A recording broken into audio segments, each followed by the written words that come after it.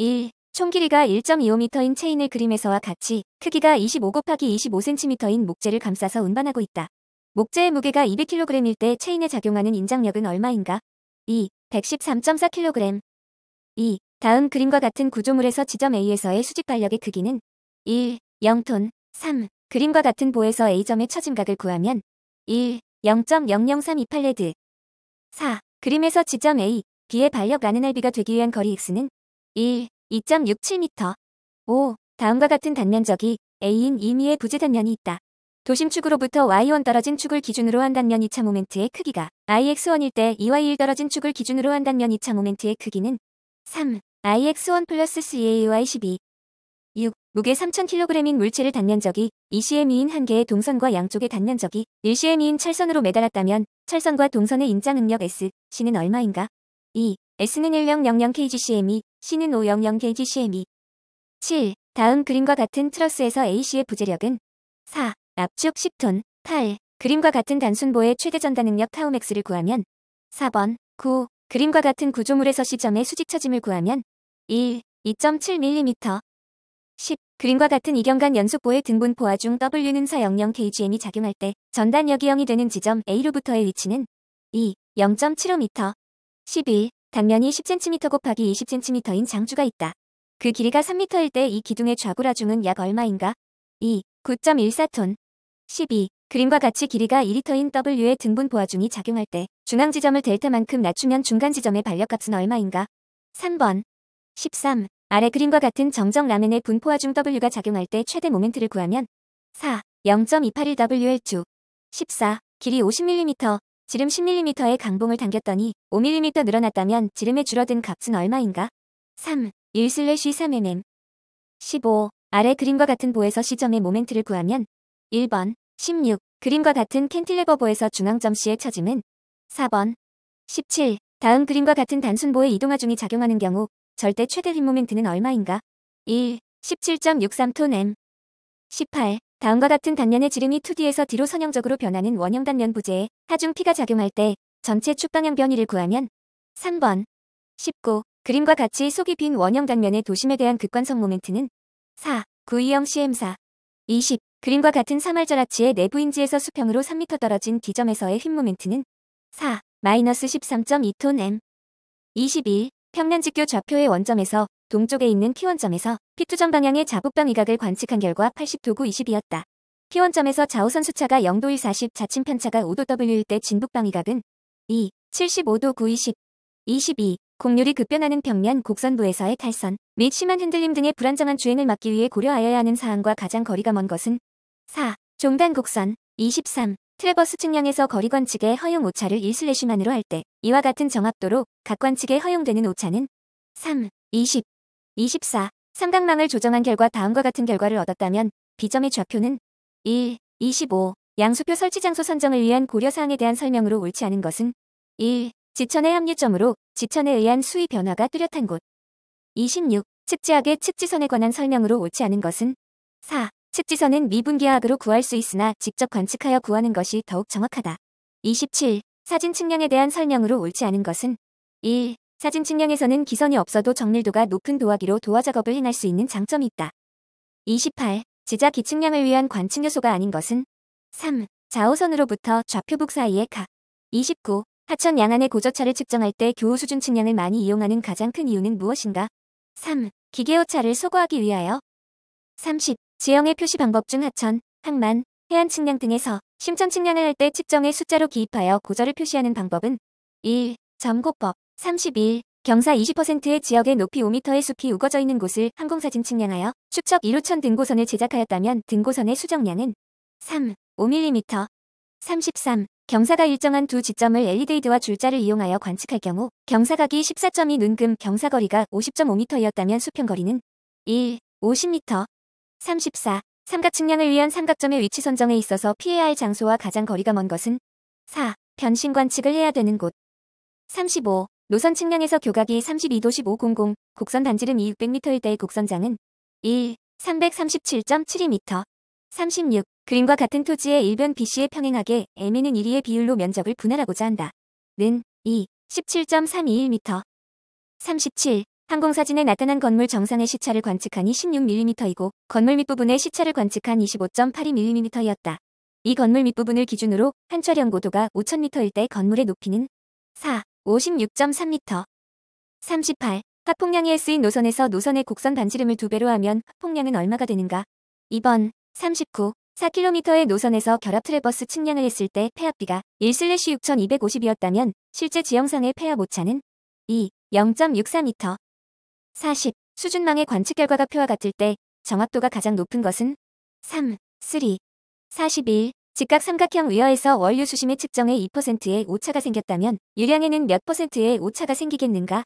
4. 5%. 42. 다음 중 도수의 길이 산정에 관한 공식이 아닌 것은 4. 세지 공식. 43. 도수 전후의 수심 H1, H2의 관계를 도수 전의 후르드수 FR1의 함수로 표시한 것으로 옳은 것은 3번. 44. 다음 설명 중 옳지 않은 것은 3. 자연하천에서 대부분의 동일 수위에 대한 수위 상승시와 하강시의 유량은 각기 유지된다. 45. 단위도에 대한 설명으로 옳지 않은 것은 2. 단위도는 기저 유량과 직접 유출량을 포함하는 숨은 곡선이다. 46. 다음 중 이상 유체의 정의를 옳게 설명한 것은 2. 비점성, 비압축성인 유체. 47. 관수로 흐름에 대한 설명으로 옳지 않은 것은 3. 관수로 내의 흐름에서는 점성적층이 존재하지 않는다. 48. 에너지 보정 계수에 대한 설명으로 옳은 것은 3번. 49. 그림에서 손실 수두가 1대 지름 0.1m의 관을 통과하는 유량은 2. 0.042663세크 50. 각변의 길이가 2cm 곱하기 3cm인 직사각형 단면의 매끈한 관에 평균 요속 1.0m 매초로 물이 흐른다. 관의 길이 100m 구간에서 발생하는 손실 수두는 2. 6.4m 51. 반지름이 6m이고 세타 30도인 수문이 그림과 같이 설치되었을 때 수문에 작용하는 전수압은 3. 179.5kNm 52. 수문 곡선에 대한 설명으로 옳지 않은 것은 4. 표면 유출은 점차적으로 수문 곡선을 하강시키게 된다. 53. 다음 중 DAD 해석 시 직접적으로 불필요한 요소는 4. 상대 습도 54. 오리피스의 표준 단관에서 유속 계수가 0.78이었다면 유량 계수는 4. 0.78 55. 두 개의 불투수층 사이에 있는 대수층의 두께의 투수계수 K인 곳에 반지름 로인 굴착정을 설치하고 일정 양수량 Q를 양수하였더니 양수전 굴착정 내의 수위 H가 호로 강화하여 정상 흐름이 되었다. 굴착정의 영향원 반지름을 R이라 할 때의 값은 2번 56. 다음 중 물의 순환에 관한 설명으로서 틀린 것은 3. 물의 순환 과정은 성분 과정 간의 물의 이동이 일정률로 연속된다는 것을 의미한다. 57. 지름이 2m이고 영향권의 반지름이 1000m이며 원지하수의 수위 H는 7m, 집수정의 수위 h0는 5m인 심정호의 양수량은 1, 0.0415m3 sec 58. 개수로의 흐름을 상류층류와 상류난류, 사류층류와 사류난류의 네 가지 흐름으로 나누는 기준이 되는 한계 프루드 수와 한계 레이놀즈 수는 2, FR은 1, 미는 500. 59. 북 10m의 직사각형 단면수로의 15M3세크의 유량이 80cm의 수심으로 흐를 때 한 개 수심은 4, 0.632m. 60. 경계층에 대한 설명으로 틀린 것은 2. 경계층 내에서는 층류가 존재할 수 없다. 61. 아래 그림의 지그재그로 구멍이 있는 판에서 순폭을 구하면 2. B에는 141mm. 62. 복전단 고장력 볼트의 이음에서 강판에 피는 400KN이 작용할 때 필요한 볼트의 수는 3. 7개. 63. 보의 유효 깊이 600mm, 복부의 폭 320mm, 프렌즈의 두께 130mm, 인장철 근량 7650mm이 양쪽 슬래브의 중심간, 거리 2.5m, 경간 10.4m FCK는 25MPa, FY는 400MPa로 설계된 대칭 T형보가 있다. 이 보의 등가 직사각형 능력 블록의 깊이는 2, 60mm, 64. 그림과 같은 단순 PSC 보에서 계수 등분포하중 W는 30KNM이 작용하고 있다. 프리스트레스에 의한 상향력과 이 등분포하중이 비기기 위해서는 프리스트레스 힘 P를 얼마로 도입해야 하는가? 1. 900KN 65. 인장 이형 철근의 정착에 대한 설명으로 옳은 것은 2. 에폭시 도막 철근으로 피복 두께가 3db 미만 또는 순간격이 6db 미만인 경우 보정 계수는 1.5이다. 66. 비틀림 철근에 대한 설명 중 옳지 않은 것은 4. 스터럽의 강모서리에 최소한 3개 이상의 종방향 철근을 두어야 한다. 67. BW는 300mm, D는 550mm, D50mm, 에지는 4500mm, 에지 200mm인 복철근 직사각형보가 연성 파괴를 한다면 설계 힘 모멘트 강도는 얼마인가? 2. 565.3kN M 68. 다음 중 표피철근에 대한 설명 중 맞는 것은 1. 전체 깊이가 900mm를 초과하는 휜 부재, 복부의 양 측면의 부재 축방향으로 배치하는 철근 69. 그림과 같은 나선 철근 기둥에서 나선 철근의 간격으로 적당한 것은 1. 61mm 70. 에지는 1200mm이 에지 3600mm로 배근된 그림과 같은 복철근 보의 탄성 처짐이 12mm라 할 때 5년 후 지속 하중에 의해 유발되는 장기 처짐은 얼마인가? 3. 12mm 71. FCK는 35MPa, FY는 350MPa를 사용하고 B에는 500mm, D는 1000mm인 힘을 받는 직사각형 단면에 요구되는 최소 힘철 분량은 얼마인가? 4. 2113mm 72. 폭 300mm, 유효 깊이 400mm, 높이 550mm, 철근량 4800mm인 보의 균열 모멘트 MCR의 값은 4. 43.7kN M 73. 그림과 같은 이 방향 확대 기초에서 하중 계수가 고려된 계수 하중, P가 그림과 같이 작용할 때 위험 단면의 계수전 발명은 얼마인가? 3. 1209.6kN 74. B는 450mm, D는 700mm인 정사각형 단면의 공칭 휨 모멘트 강도는 얼마인가? 2. 1034.3kNm 75. 보의 길이 L은 20m 활동량 델타 L은 4mm, EP는 20만 메가파스칼일 때 프리스트레스 감소량 델타 FP는 1. 40 메가파스칼 76. U형 stirrup의 정착 방법 중 종방향 철근을 둘러싸는 표준 갈고리만으로 정착이 가능한 철근의 범위는 1. D16 이하의 철근 77. 옹벽의 구조 해석에 대한 설명으로 틀린 것은 1. 뒷부벽은 직사각형보로 설계하여야 하며 앞부벽은 T형보로 설계하여야 한다. 78. FCK는 28MPa, FY는 350MPa로 만들어지는 보에서 압축이형 철근으로 D29를 사용한다면 기본 정착 길이는 3. 473mm.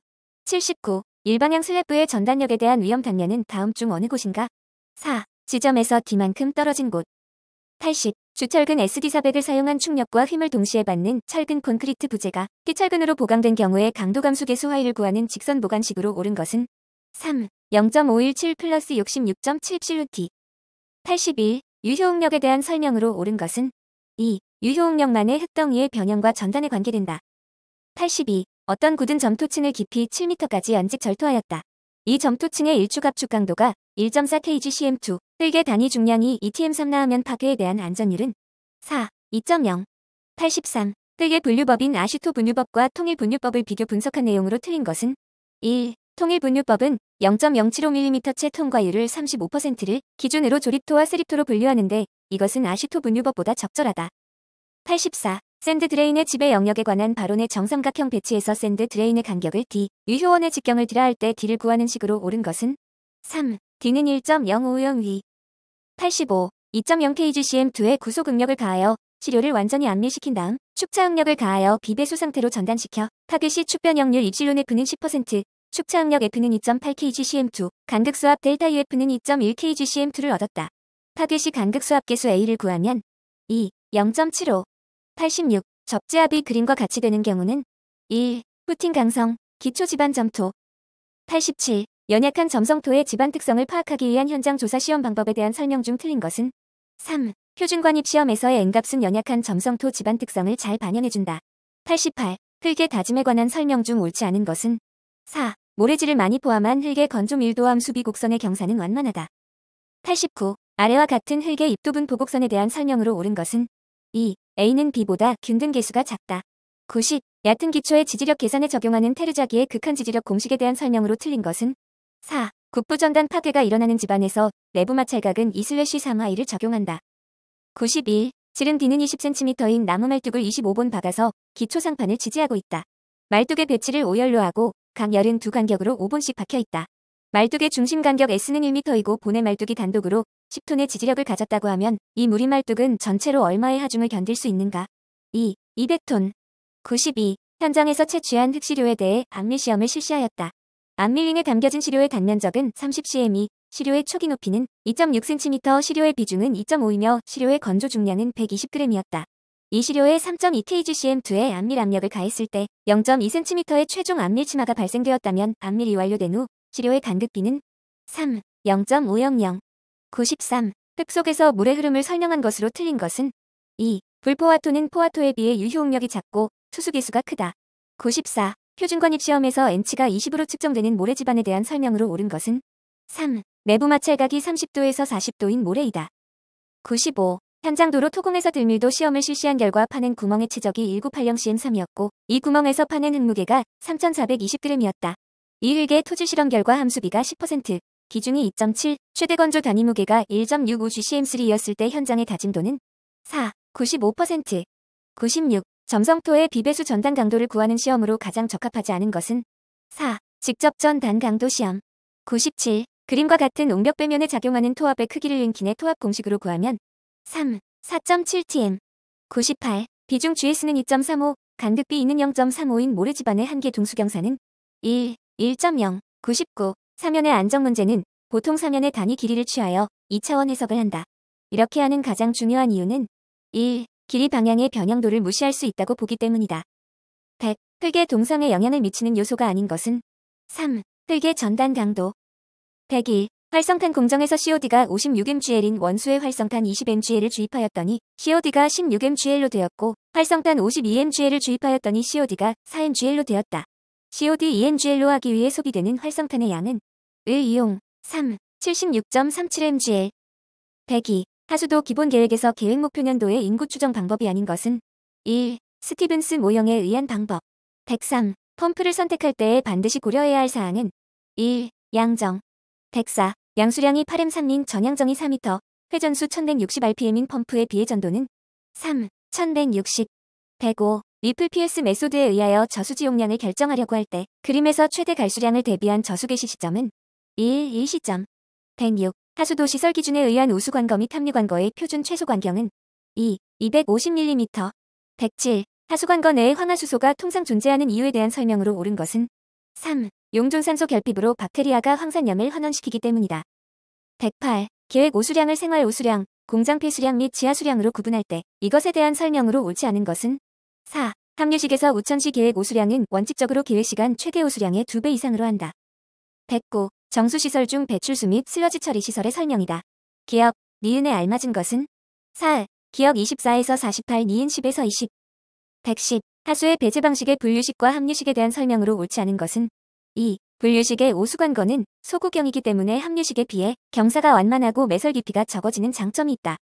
111. 폭 10m, 길이 25m인 장방형 침전조에 넓이 80m인 경사판 한 개를 침전조 바닥에 대하여 10도의 경사로 설치하였다면 이론적으로 침전 효율은 몇 퍼센트 증가하겠는가?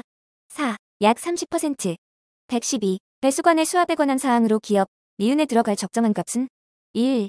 기억 150, 니은 700.